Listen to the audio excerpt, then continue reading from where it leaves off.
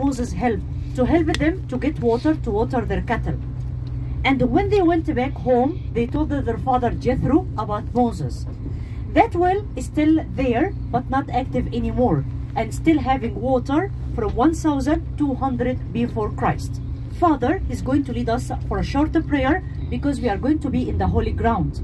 But we're not able to see the burning bush because it will be inside the monastery. And go inside, only we can see it from a distance. The second place, uh, it's dating back uh, to the time of the Christian time. It's the church. They built a church, a mosque next to the church. No one can attack uh, the church. So the main significance to build a mosque next to the church, it's not for prayers. my mind, the couple, they are aging 70 plus. So I was thinking, if they are willing and eager, I am glory be, then Hail Mary, glory be, till we reach the summit. I don't know. When I reach 1,900,